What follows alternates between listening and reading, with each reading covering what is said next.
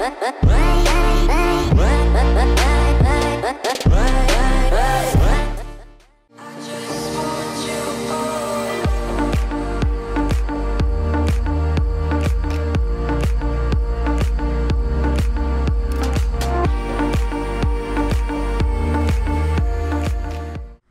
Hello everybody, United Gaming here. In today's video, I'm going to be showing you how to get fully out of the map on Nessus. So if we can go for over 30 likes on this video, that'd be greatly appreciated, as well as if you could leave a comment down below letting me know what you think of the video. And if you're new, don't forget to subscribe for more Destiny 2 content and glitches and whatnot. So yeah, let's get right into the video.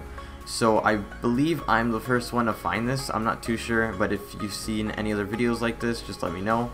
And yeah, so right here you can see a force field protecting you from the Prodromus down which is the area we are going to glitch into.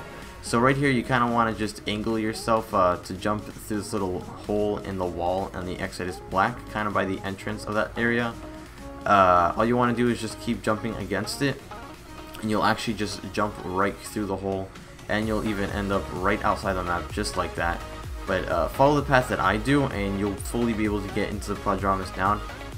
So you just want to hug the sheet metal and keep running against that little railing crouch and then push yourself against a white wall and barriers will just kind of push you out into the Prodromus down and just keep walking and another invisible barrier will push you.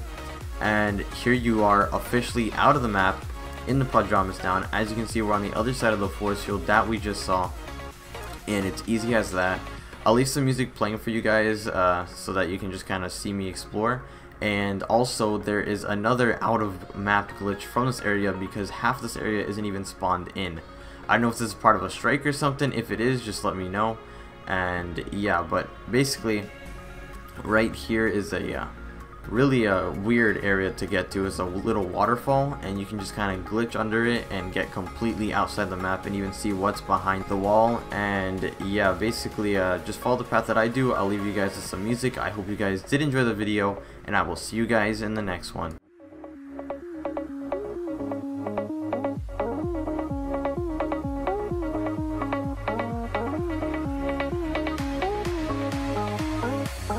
We'll